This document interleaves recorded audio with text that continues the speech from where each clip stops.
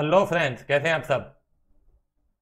अगर आप सोच रहे हैं कि आज हम कोई नया चैप्टर शुरू करने जा रहे हैं तो आप गलत हैं। मैं आज कुछ पढ़ाने वाला नहीं हूँ आपको। मैं केवल आपको एक इंसिडेंट बताने जा रहा हूँ, जो कुछ दिन पहले हुआ था। क्या हुआ कि मैं बैंक पहुँच गया। मैं आपको बता दूँ कि मेरा कभी कोई बैंक में अकाउंट नहीं रहा। तो मैंने सोचा, यार, जमाना बदल रहा है और जमाने के साथ मुझे भी बदलना चाहिए। आजकल तो लोग मोबाइल पे ही बैंकिंग करने लगे हैं और मेरा तो बैंक अकाउंट ही नहीं है। तो मैं बैंक पहुँच गया और सामने एक भाई साहब बैठे थे। मैंने कहा, भाई साहब, मुझे बैंक में अकाउंट ओपन करना है। तो बोले हाँ हाँ बिल्कुल, बैठिए आप। बोला, अकाउंट ओपन करने के लिए कुछ डॉक्यूमेंट्स की रिक्वायरमेंट होती है और आपको पाँच हज़ार रुपये डिपॉजिट करना पड़ेगा। मैंने कहा, बिल्कुल बिल्कुल, मैं पूरी तैयारी के साथ आया हूँ। मुझे मालूम है आधार कार्ड वगैरह, फोटोग्राफ लगेगा तो मैं पूरी तैयारी के साथ आया हूँ, ये लीजिए। और ये पाँच हज़ार रुपये भी लीजिए। बोला, ठीक है। थोड़ी देर में बैठा रहा, फिर मैंने कहा कि अकाउंट ओपन हो गया। बोला हाँ आपका अकाउंट ओपन हो गया। तो मैंने कहा, मेरे पास कोई प्रूफ तो है नहीं कि अकाउंट यहाँ पे ओपन हो गया है, कैसे मेरे को पता चलेगा? बोला, बैठिए, मैं आपको पासबुक दे रहा हूँ। मैंने कहा, पासबुक? बोले आपको पासबुक नहीं मालूम है। मैंने कहा नहीं, मैंने तो कभी बैंक में अकाउंट ही ओपन नहीं किया तो मुझे मालूम भी नहीं है। बोला, आपको बैंक स्टेटमेंट मालूम है? मैंने कहा नहीं, मुझे बैंक स्टेटमेंट भी नहीं मालूम है। बोला अच्छा। बोला, आपको थोड़ी बहुत अकाउंटिंग आती है? मैंने कहा हाँ हाँ थोड़ी बहुत अकाउंटिंग आती है। वो जर्नल एंट्री और फिर लेजर होता है, फिर वो कैश बुक बनाते हैं, वो सब आता है मेरे को। बोला अच्छा वो आता है। तो अच्छा आपको ये मालूम है कि जब आप यहाँ पे कैश डिपॉजिट कर रहे हो पाँच हज़ार रुपए तो उसको आप रिकॉर्ड कैसे करेंगे? मैंने कहा हाँ हाँ बिल्कुल, मुझे इतनी अकाउंटिंग आती है, मैं बिल्कुल आपको अभी बता देता हूँ किस तरीके से रिकॉर्ड करेंगे। बोला, बताओ। मैंने कहा, अभी बताता हूँ। तो मैंने कहा कि, देखो, क्या है कि मैं जर्नल एंट्री पास करूँगा पहले। बोला अच्छा कैसी जनरल एंट्री पास करोगे? मैंने कहा देखो, मेरे पैसे मेरे पास हैं तो भी एसेट है। मेरे पैसे आपके पास हैं तो भी एसेट है। मेरे पैसे किसी राम के पास हैं तो भी एसेट है। बोला, बिल्कुल सही। आप एंट्री क्या पास करोगे? मैंने कहा देखो, मैं आपको पाँच हज़ार रुपए जमा कर रहा हूँ। मेरे पास से कैश जा रहा है और बैंक में पैसे आ रहे हैं। तो मैं यहाँ पे लिखूँगा bank account debited to cash account. इस तरीके से मैं लिखूँगा फाइव थाउज़ेंड फाइव थाउज़ेंड बोला, बिल्कुल सही। आप ऐसा बैंक अकाउंट को डेबिट क्यों कर रहे हैं, आप मुझे बताओ? तो मैंने कहा, भाई, बैंक अकाउंट को डेबिट इसलिए कर रहे हैं क्योंकि बैंक से मुझे पैसे लेने हैं। बैंक मेरे लिए एसेट हो गया। मेरे पैसे आपके पास रखे हैं और जिससे भी पैसे लेने होते हैं ना, उसका अकाउंट डेबिट कर दो। राम से लेना है तो राम को डेबिट कर दो, श्याम से लेना है तो श्याम को डेबिट कर दो, बैंक से लेना है तो बैंक को डेबिट कर दो। बोला, बिल्कुल सही। तो ये आप जिस तरीके से अकाउंट बनाते हो ना, उसी प्रकार से हम भी अकाउंट बनाते हैं। हम आपके नाम का अकाउंट बनाते हैं। आप बना रहे हो बैंक के नाम का अकाउंट, हम बनाएँगे आपके नाम का अकाउंट। मैंने कहा कैसे बनाओगे? थोड़ा समझाएँगे? बोला, बिल्कुल हम आपको समझाएँगे। देखो, आप हमें पैसे दे रहे हो हाँ या ना? मैंने कहा हाँ मैं आपको पैसे दे रहा हूँ। बोला, अब हमारी नज़र से देखो, बैंक की नज़र से देखो कि बैंक के पास पैसे आ रहे हैं। मैंने कहा हाँ हाँ बैंक के पास बराबर आपके पास पैसे आ रहे हैं। मैंने पैसे आपको दे दिए। बोला हाँ तो जब हमारे पास पैसे आएँगे तो हम लिखेंगे कैश अकाउंट डेबिट और पैसे किसने दिए? आपने दिए। तो आपका नाम लिखेंगे टू कस्टमर मैंने कहा हाँ बराबर है। पाँच हज़ार पाँच हज़ार। ऐसे लिखेंगे आप। बोला हाँ कस्टमर अकाउंट क्रेडिट हम इसलिए कर रहे हैं क्योंकि आप हमारे लिए लाइबिलिटी हो। मैंने कहा रुक जाओ। मुझे समझ में नहीं आया। आप क्या कह रहे हो? मैं आपके लिए लाइबिलिटी हूँ। बोला हाँ हमारे जितने भी कस्टमर्स हैं, हमारे जितने भी कस्टमर्स हैं, जिनके पैसे हमारे पास डिपॉजिटेड हैं, वो सारे के सारे हमारे लिए लाइबिलिटी हैं। क्योंकि वो पैसे हमारे थोड़ी हैं, वो पैसे अल्टीमेटली कस्टमर के ही हैं और हमें उन्हें लौटाने हैं। इसलिए वो हमारे लिए क्या हो जाएगा? लाइबिलिटी हो जाएगा। मैंने कहा हाँ थोड़ा थोड़ा मुझे समझ में आ रहा है। बराबर है। तो बोला, देखो, क्या होता है कि आप जो बुक अपने पास जो बुक्स मेंटेन करेंगे, उसमें आप क्या करेंगे? बैंक को डेबिट करेंगे और हम यहाँ पे आपके अकाउंट को क्रेडिट करेंगे। मतलब जब जब आप हमारे अकाउंट को डेबिट करेंगे, तब तब हम आपके अकाउंट को क्रेडिट करेंगे। जब जब आप हमारे अकाउंट को क्रेडिट करोगे, तब तब हम आपके अकाउंट को डेबिट करेंगे। मैंने कहा अच्छा ठीक है थोड़ा थोड़ा मुझे समझ में आ रहा है। मगर ये जो अकाउंट स्टेटमेंट आप कह रहे हो ये जो आप बोल रहे हो पासबुक, उसमें क्या रहेगा? बोला, बस ये आपके नाम का अकाउंट ही रहेगा। उसमें आपके पूरे के पूरे ट्रांजेक्शन रिकॉर्डेड रहेंगे। आप जब जब पैसे जमा कर रहे हो, वो भी उसमें रहेगा। जब जब आप पैसे विड्रॉ कर रहे हो, वो भी रहेगा। और अल्टीमेटली कितने पैसे आज की तारीख में आपके बैंक अकाउंट में हैं, उसकी भी पूरी जानकारी रहेगी। मैंने कहा, ठीक ठीक ठीक। तो अकाउंट कैसे बनता है? बोला, जैसे आप बनाते हो। बोला, देखो, मैं काम करता हूँ, मैं आपको फॉर्मेट दिखाता हूँ। ये लो। मैंने कहा, ये तो लेजर का फॉर्मेट है। बोला हाँ ये लेजर का फॉर्मेट है, आप अभी इसी से समझो। मैंने कहा हाँ बताओ। बोला, देखो, आप जब जाओगे तो आप हमारे नाम का बैंक अकाउंट का लेजर बनाओगे। उसी प्रकार से हम आपके नाम का एक लेजर बनाएँगे। कस्टमर अकाउंट बात समझ में आई? मैंने कहा हाँ. अब बोला, देखो, जैसे ही आपने बैंक में पैसे डिपॉजिट किए तो आप क्या कर रहे हो? Bank account debited to cash तो आप यहाँ पे लिखोगे टू कैश कितना? फाइव थाउज़ेंड मान लो कि आज है फ़र्स्ट ऑफ़ अक्टूबर मान लो, ठीक है? और यहाँ पे भी आप, अब जिस प्रकार से पाँच हज़ार रुपए आपने डेबिट किए हैं, वैसे ही हम क्या करेंगे? क्रेडिट करेंगे। फ़र्स्ट ऑफ़ अक्टूबर को हम लिखेंगे बाय कैश। कितना? Five thousand. तो आप भी एक अकाउंट मेंटेन करोगे, हम भी एक अकाउंट मेंटेन करेंगे और हम जो अकाउंट मेंटेन करेंगे, उसका आपको हम पासबुक में प्रिंट आउट निकाल के दे देंगे। या आप चाहोगे तो पूरे ए फोर साइज़ में भी एक प्रिंट आउट निकाल के हम दे सकते हैं। दोनों में एक ही बात रहती है। मैंने कहा ठीक है। ये मेरे को समझ में आ गया। और मैं वहाँ से निकल आया। मुझे उन्होंने एक अकाउंट स्टेटमेंट दे दिया और मैं वापस चला आया। मैं घर पहुँचा और मैंने फटाफट इसी तरीके से एंट्री पास की और ये मैंने लिख दिया। बैंक अकाउंट का लेजर बनाया टू कैश फाइव थाउज़ेंड लिख दिया। हो गया। हो गया। चलो भाई। उसके बाद क्या हुआ? ध्यान दीजिएगा। उसके बाद क्या हुआ कि पाँच दिन बाद, पाँचवें दिन पे मतलब फिफ्थ ऑफ़ अक्टूबर ध्यान दीजिएगा। फिफ्थ ऑफ़ अक्टूबर को मैंने एक चेक जो मेरे एक स्टूडेंट ने दिया था, टेन थाउज़ेंड रुपीज़ का, वो मैंने बैंक में डिपॉजिट कर दिया। कब किया? फिफ्थ ऑफ़ अक्टूबर को। तो मैंने सीधे मैं गया और मैंने वो चेक डिपॉजिट कर दिया, स्टूडेंट का नाम यहाँ पे लिख दिया मैंने। कितने का चेक? दस हज़ार रुपए का चेक। बराबर है।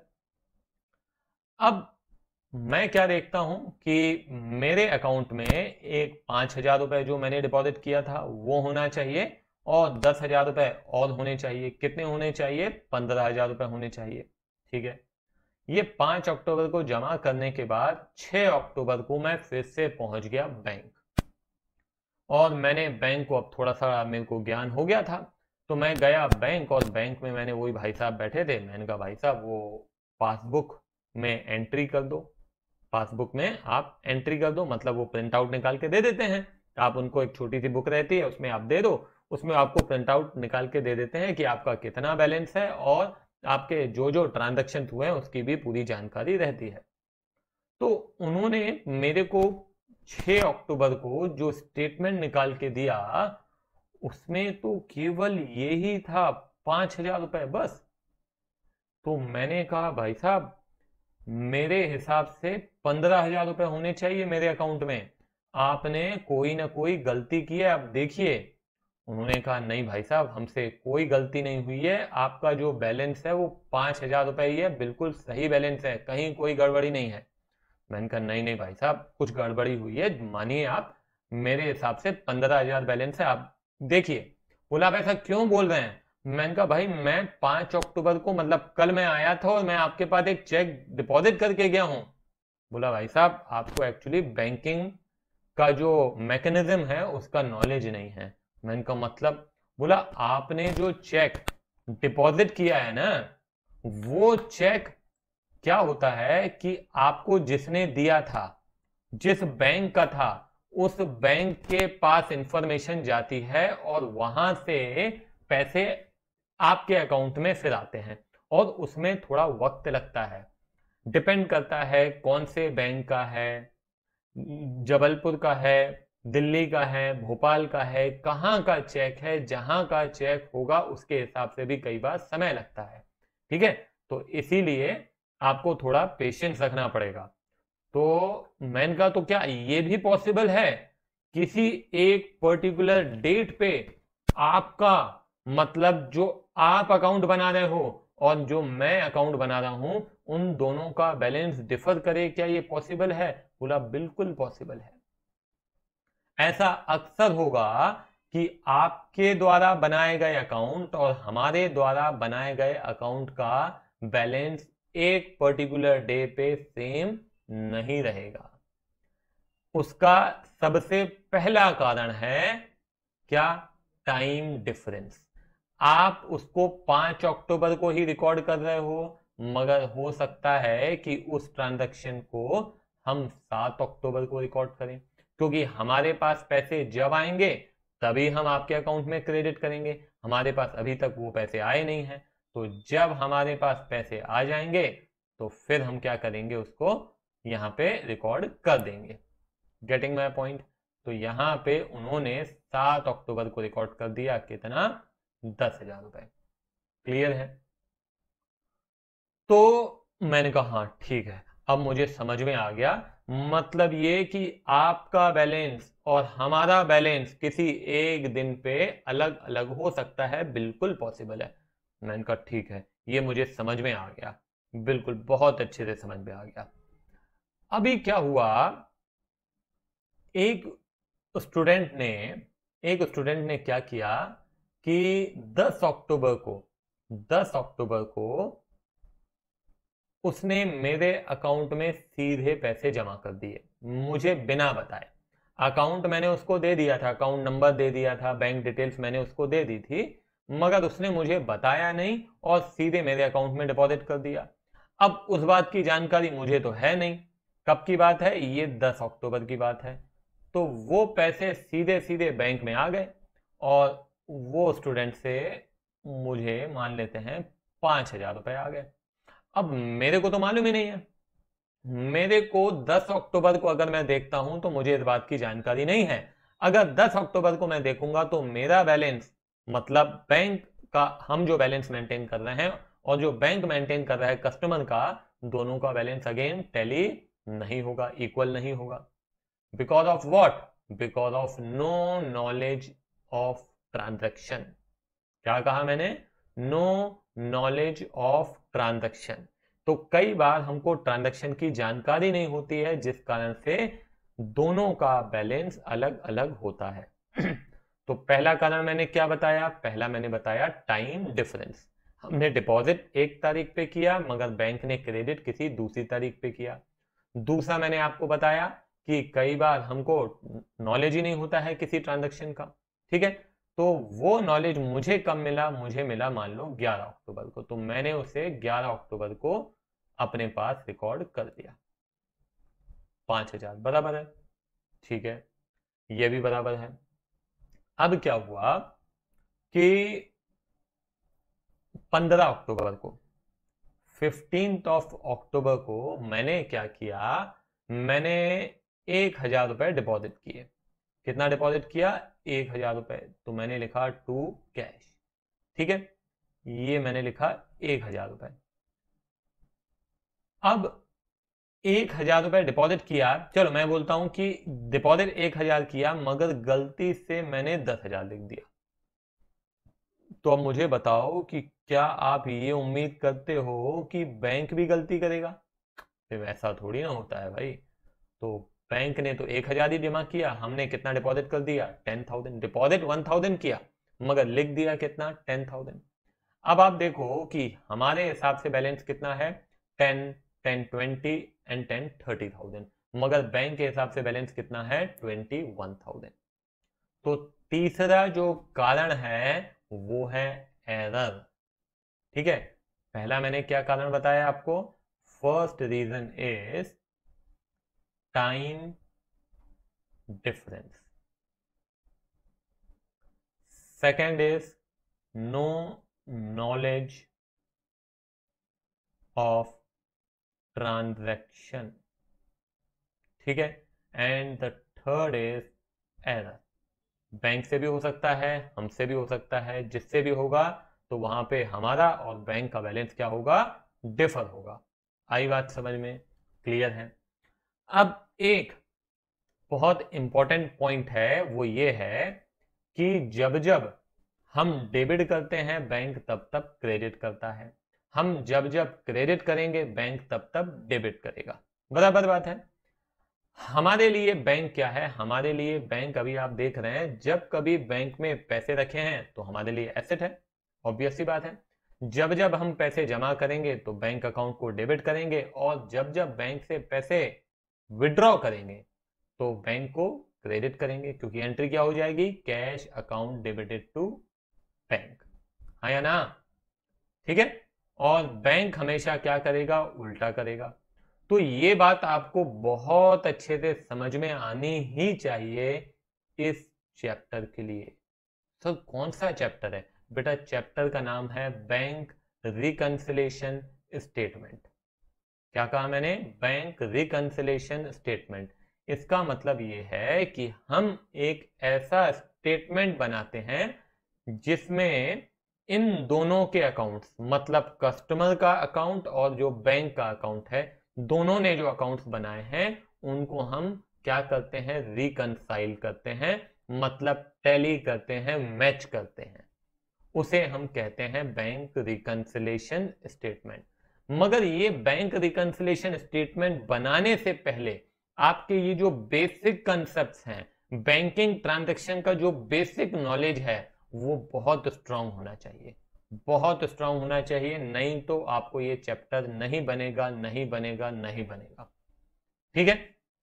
तो आपको इस बात का ज्ञान होना बहुत ज़रूरी है कि जब जब हम बैंक में पैसे डिपॉजिट करेंगे तो हम बैंक अकाउंट को क्या करते हैं? ऑब्वियस सी बात है डेबिट करते हैं, मगर बैंक हमारे अकाउंट को क्या करता है? बैंक हमारे अकाउंट को क्रेडिट करता है। हमारे लिए बैंक यदि पैसे जमा है, हमारे डिपॉजिटेड हैं पैसे तो हमारे लिए बैंक क्या है? हमारे लिए एसेट है। At the same time bank के लिए हम क्या हैं? बैंक के लिए हम लाइबिलिटी हैं। ठीक है? ये बात बहुत अच्छे से क्लियर होनी ही चाहिए। ये क्लियर नहीं होगी तो कोई मतलब नहीं निकलेगा, आगे कुछ भी नहीं बनेगा। तो ये पहले आप अपने आप से पूछिए कि क्या आपको बैंकिंग ट्रांजेक्शन अच्छे से बनते हैं कि नहीं बनते हैं? ठीक है? चल तो अब सबसे पहले bank reconciliation statement is what is comparison of comparison of what comparison of bank column of cash book याद है ना? कैश बुक बनाते थे जिसमें हम बैंक कॉलम बनाते थे, या फिर बैंक स्टेटमेंट भी बोल सकता हूँ मैं, जो हम बना रहे हैं। और जो बैंक हमारा अकाउंट मेंटेन कर रहा है, उसको हम क्या कहते हैं? पासबुक कहते हैं, या फिर बैंक स्टेटमेंट कहते हैं। ठीक है? तो क्वेश्चन पहला तो ये आ सकता है what is bank reconciliation statement bank reconciliation statement is the statement which is prepared by the customer of bank for comparison of bank column of cash book and passbook ठीक है? ये पहला पॉसिबल क्वेश्चन है। मगर इसमें से practical question obvious सी बात है आएँगे और वो हमको बनना भी चाहिए। So what are the causes of difference between bank column of cash book and bank statement whenever I am saying bank statement means the statement which is prepared by the bank okay bank statement means the statement which is prepared by the bank means जो customer account बनाया जा रहा है bank के द्वारा। तो ये तीन चीज़ें भी हैं जो आपको नोट डाउन करनी है। पहला टाइम डिफरेंस दूसरा नो नॉलेज ऑफ़ ट्रांजेक्शन और तीसरा है एरर्स क्लियर है ये? हाँ। अब कुछ बेसिक्स मैं आपको बता दे रहा हूँ। इन केस आपके बेसिक स्ट्रांग नहीं है तो पहली बात होने ही चाहिए। और फिर भी मैं थोड़े आपके ये कंसेप्ट जो है, वो ब्रशअप ज़रूर करूँगा यहाँ पे। देखिए, यदि बैंक में कुछ पैसे हमारे डिपॉजिटेड हैं, जिसको हम कहते हैं पॉजिटिव बैलेंस मेरे बैंक में कुछ पैसे हैं, जैसे मैं कहता हूँ कि मेरे बैंक में पाँच हज़ार रुपए है तो मैं क्या कहूँगा, ये पॉजिटिव बैलेंस है। कौन सा बैलेंस है? It is a positive balance ठीक है? तो इसको हम क्या क्या कहते हैं? हम इसको कहते हैं debit balance as per cash book ठीक है? और बैंक की नज़र से देखेंगे तो वो क्रेडिट बैलेंस होगा। ये हमारी नज़र से है ना? जब मैं कह रहा हूँ debit balance as per cash book मतलब ये कस्टमर की नज़र से कौन सा बैलेंस है? डेबिट बैलेंस है। वहीं बैंक की नज़र से कौन सा बैलेंस है? क्रेडिट बैलेंस है। यदि यदि मैं आपको क्यों बता रहा हूँ, ध्यान से सुनिएगा। अगर मैं कहता हूँ एज अ कस्टमर मैं कहता हूँ कि मेरा पाँच हज़ार रुपए डेबिट बैलेंस है। ठीक है? एज पर कैश बुक तो इसका मतलब है, मैं कह रहा हूँ कि हाँ बैंक में पैसे हैं। अगर मैं कहता हूँ कि पासबुक के हिसाब से क्रेडिट बैलेंस है, मैं पासबुक देख रहा हूँ और पासबुक में देख रहा हूँ, मैं कह रहा हूँ क्रेडिट बैलेंस है पाँच हज़ार। पासबुक देख के कह रहा हूँ, इसका मतलब है कि बैंक में पैसे हैं, क्योंकि पासबुक किसने बनाया है? बैंक ने बनाया है। बैंक उसको क्या बोलता है? क्रेडिट बोलता है। जिसको हम डेबिट बोलते हैं, बैंक उसको क्रेडिट बोलता है। गेटिंग माई पॉइंट तो जब मैं मैं अगर कैश बुक देख के बोलूँगा तो मैं क्या कहूँगा? कैश बुक के हिसाब से पाँच हज़ार का डेबिट बैलेंस है। जैसे यहाँ पे आप देखो। देखो, मैं आपको दिखा रहा हूँ। यहाँ पे आप देखो। अगर केवल चलो इसको मैं सुधार देता हूँ। ठीक है? अभी मैंने सुधार दिया तो ये क्या हो गया? ट्वेंटी वन थाउज़ेंड और ये ट्वेंटी वन थाउज़ेंड तो अभी मेरे को बताओ कि ये क्या मैं कहूँगा? कैश बुक है। है ना? This is your cash book and this is what this is your passbook तो मैं क्या कहूँगा? कैश बुक के हिसाब से क्या है? डेबिट बैलेंस है ट्वेंटी वन थाउज़ेंड का। और मैं कहूँगा पासबुक के हिसाब से कौन सा बैलेंस है? क्रेडिट बैलेंस है ट्वेंटी वन थाउज़ेंड का। है ना? तो बात वही है। बैंक में पैसे हैं, इसको कैसे कैसे हम कह सकते हैं? हम कह सकते हैं कैशबुक के हिसाब से डेबिट बैलेंस पासबुक के हिसाब से क्रेडिट बैलेंस क्लियर है ये बात? है ना? इतना ज़्यादा एम्फोसिस मैं इसलिए दे रहा हूँ क्योंकि ये अगर क्लियर नहीं होगा ना तो फिर कुछ भी क्लियर नहीं होगा। Balance as per cash book भी कहा जाता है। अगर मैं कहता हूँ कि यार मेरे बैंक में पाँच हज़ार रुपए का बैलेंस है मतलब I am talking about what I am talking about कि उसमें पैसे हैं मतलब ये पॉजिटिव बैलेंस है। पासबुक के हिसाब से भी क्या बोलेंगे? बैलेंस है। आप जाओ, बैंक और बोलो कि बताओ मेरे अकाउंट में कितना बैलेंस है? वो कहेंगे पाँच हज़ार बैलेंस है। मतलब पाँच हज़ार बैलेंस क्या है? पॉजिटिव और नेगेटिव ऑब्वियस सी बात है पॉजिटिव जिस प्रकार से हम मोबाइल रिचार्ज कराते हैं और बैलेंस चेक करते हैं तो वहाँ पे क्या आता है? बैलेंस मतलब पॉजिटिव बैलेंस तो बैलेंस मतलब जब भी हम बोलेंगे ना तो दैट इज़ पॉजिटिव बैलेंस इसको फेवरेबल भी कहा जाता है। फेवरेबल तो आपको ये समझ में आना चाहिए कि जब कभी भी मैं कह रहा हूँ debit balance as per cash book मतलब बैंक में पैसे हैं। मैं कह रहा हूँ credit balance as per passbook मतलब बैंक में पैसे हैं। मैं कह रहा हूँ balance as per cash book bank में पैसे हैं। Balance as per passbook bank में पैसे हैं। Favourable balance as per cash book favourable balance as per passbook मतलब बैंक में पैसे हैं। क्लियर है? ठीक है? इसको नोट डाउन करो पॉज करो, इसको नोट डाउन करो, फिर अगली स्लाइड पे आओ। नेगेटिव बैलेंस है तो उसको क्या कहेंगे? अभी अपना दिमाग आप खुद लगाइए। जब हमारे बैंक में पैसे होते हैं तो हम कैश बुक के हिसाब से क्या कहते हैं? डेबिट बैलेंस और जब नेगेटिव होगा तो क्या कहते हैं? क्रेडिट बैलेंस क्या कहते हैं? क्रेडिट बैलेंस नेगेटिव बैलेंस का मतलब क्या है? अरे भाई, क्या होता है? बैंक का काम केवल डिपॉजिट लेना नहीं होता है, बल्कि लोन देना भी होता है। बैंक हमको लोन भी देता है। मान लो मैंने बैंक से लोन ले लिया। तो अब बैंक मेरे लिए क्या हो गया? लाइबिलिटी हो गया। और लाइबिलिटी का कौन सा बैलेंस है? क्रेडिट बैलेंस है। तो जब मैं कैश बुक बनाऊँगा तो मैं क्या बोलूँगा? Credit balance as per cash book bank के लिए अब मैं हो गया एसेट क्योंकि बैंक को मुझसे पैसे लेने हैं। बैंक की नज़र से देखो बैंक को मुझसे पैसे लेने हैं तो बैंक की नज़र से मैं हो गया एसेट तो बैंक क्या बोलेगा? बैंक बोलेगा debit balance as per passbook आया ना? तो ये देखो credit balance as per cash book, debit balance as per passbook, या फिर इसको हम कहते हैं ओवरड्राफ्ट। ओवरड्राफ्ट मतलब नेगेटिव है। ठीक है? चाहे वो कैश बुक के हिसाब से बोलो, चाहे वो पासबुक के हिसाब से बोलो। जैसे मैं कहता हूँ, balance as per cash book या बैलेंस एज पर पासबुक मतलब बैंक में पैसे हैं। ओवरड्राफ्ट जब मैं कहूँगा तो मतलब बैंक में पैसे नेगेटिव हैं, उल्टा बैंक से हमने लोन लिया हुआ है। या फिर हम इसको कहते हैं अनफेवरेबल। ठीक है? बात समझ में आई? तो ये सारी की सारी इंफॉर्मेशन आपको बहुत अच्छे से क्लियर होनी ही चाहिए, तभी ये चैप्टर आपको बनेगा। तो इसीलिए आज जो जो पढ़ा है, पूरा का पूरा अच्छे से आप रिवाइज करो और मैं कहूँगा कि आप अलग अलग लेजर बनाओ चार पाँच ट्रांजेक्शन रिकॉर्ड करके देखो बैंक में पैसे डिपॉजिट किए तो कैश बुक में कैसे रिकॉर्ड करेंगे पासबुक में कैसे रिकॉर्ड करेंगे, है ना? उनके लेजर में, हमारे लेजर में। बैंक से पैसे विड्रॉ करके देखो दोनों अकाउंट्स में इसको रिकॉर्ड करो दोनों का बैलेंसिंग करो और देखो कि आ, कौन सा बैलेंस आ रहा है। ये सब करके देखो ठीक है? ये इसलिए कह रहा हूँ कि आपके कंसेप्ट यदि क्रिस्टल क्लियर रहेंगे तो आपको ये चैप्टर बिल्कुल आसानी से बनेगा। और नहीं है तो उतनी ही ज़्यादा दिक्कत जाएगी ठीक है? तो चलो इसको मैं यहीं पे ख़त्म करता हूँ। अगले लेक्चर में हम स्टार्ट करेंगे रिवाइज करेंगे और थोड़े और कंसेप्ट ब्रशअप करेंगे। चलो बाय